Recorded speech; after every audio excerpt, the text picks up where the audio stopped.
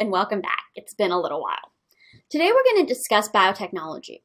If we consider biotechnology at its most basic level, humans have been doing it for thousands of years. Farmers have picked the best seeds for selective breeding of farm crops based on factors such as the crop's insect resistance, the ability of the crop to adapt to a climate, and of course, taste. Consider modern corn. Its ancestor, a plant called teosinte, barely resembles what you probably eaten off the cob. Through artificial selection, farmers only planted seeds from corn that had the traits they were looking for big, sweet, and yummy. Before these farmers had any idea of what DNA was, farmers were selecting for specific genes through selection of preferred phenotypes. Today we use DNA technology to produce medicines, improve food quality, diagnose and treat diseases, and even help solve crimes. In the world of modern genetics, scientists can create transgenic organisms. A transgenic organism is an organism that received one or more of its genes from another organism. One example of how we can use our ability to transfer genes from one organism to another is to synthesize or create therapeutic hormones. In 1982, Humulin came on the commercial market. Humulin is a human insulin produced by bacteria. Humulin became the first recombinant drug approved by the FDA. Before Humulin, insulin was very hard to come by because it had to be isolated from animals, which was incredibly expensive and time consuming. There were also ethical implications since the hormone had to be isolated from the pancreas of cows and pigs. So how is bacteria that synthesizes human insulin created? First, we have to consider where the genes come from to insert into these transgenic bacteria. So the challenge is to locate the specific gene that encodes for the protein that you want the bacteria to synthesize or make for you.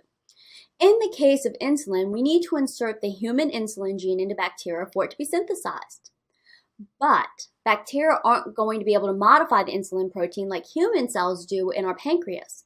So we have to insert the insulin gene as two separate genes, and then combine the two protein products to create a functional insulin hormone that resembles the human insulin protein. The insulin gene is inserted into a plasmid. That's a piece of bacterial DNA. Then this plasmid is inserted into the bacteria. But we have a problem. The issue is the bacteria isn't just going to happily synthesize a bunch of protein without some convincing. So we have to do some cool manipulating to change the way that the bacteria responds to the plasmid. So we're going to insert a strong constitutive bacterial promoter right before the insulin gene. And that's going to tell the bacteria to increase transcription of that insulin gene. And the fact that the promoter is constitutive means it's always turned on. Bacteria like E. coli replicate very quickly. E. coli replicates every 20 minutes.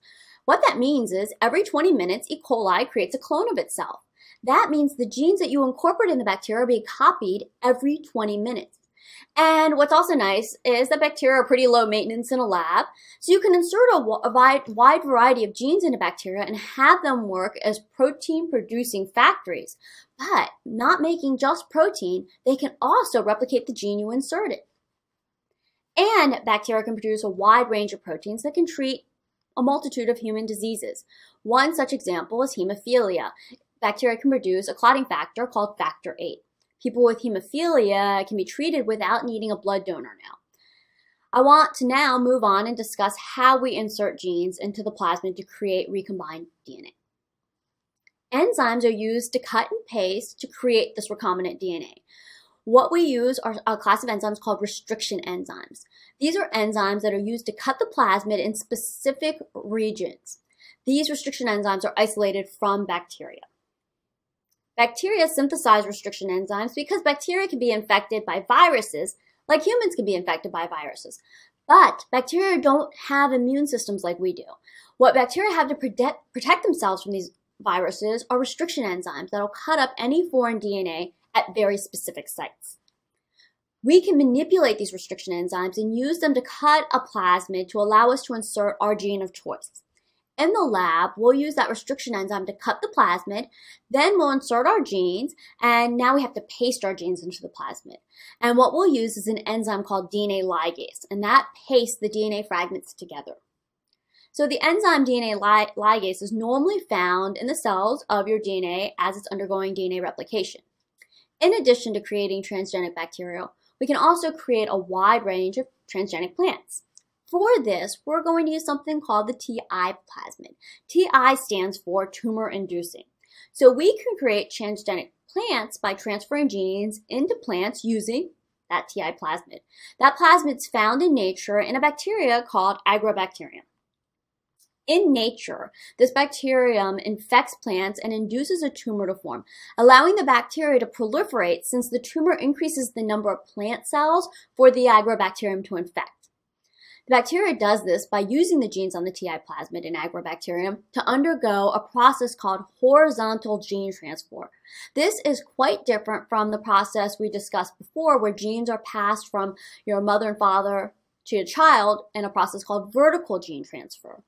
In horizontal gene transfer, genes are transferred across different organisms. In the lab, we'll incorporate genes into the plant that could allow for insect resistance, resistance to drought, resistance to frost.